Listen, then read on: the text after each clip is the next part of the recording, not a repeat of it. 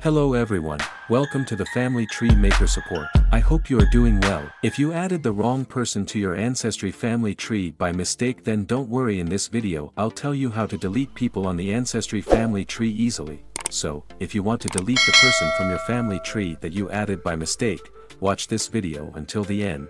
In this video, I'll tell you the 3 best steps to remove a person from your family tree. First, open your Ancestry family tree using your username and password.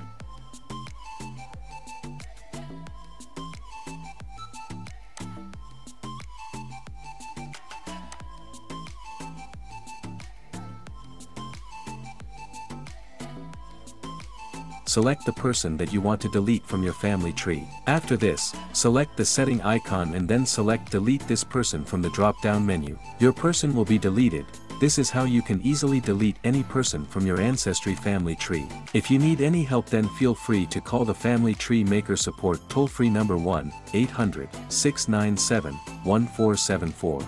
You will get the best solution to your problem. I hope you like this video. Please share, comment, and subscribe to the channel. Thanks for watching the video.